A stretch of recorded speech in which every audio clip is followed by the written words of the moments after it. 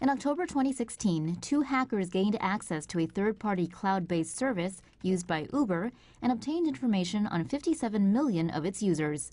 Compromised data from the attack included names, email addresses, phone numbers, as well as license numbers of around 600,000 U.S. drivers.